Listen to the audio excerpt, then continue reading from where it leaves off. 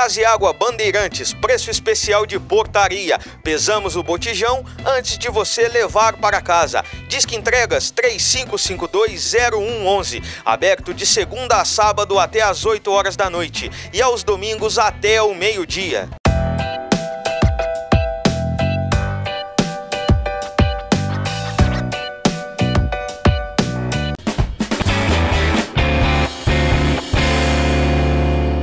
Tarde deste sábado, 18 de junho, a Polícia Militar foi acionada na Avenida Conde Ribeiro do Vale por uma senhora de 56 anos. Segundo ela, ela estaria utilizando seu aparelho de celular momento que um homem chegou, lhe deu um tapa no rosto, tomou o aparelho de celular e fugiu em seguida.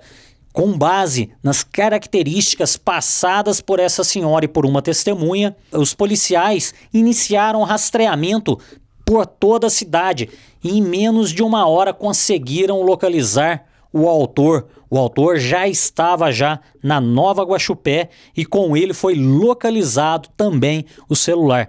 Esse autor foi reconhecido pela vítima e também pela testemunha. O homem reconhecido tem 42 anos de idade. Ele foi preso e conduzido para a delegacia de polícia civil. Venda, troca, aluguel, empréstimos consignados, financiamentos em geral é na Andrade Oliveira Corretora de Imóveis e Financeira.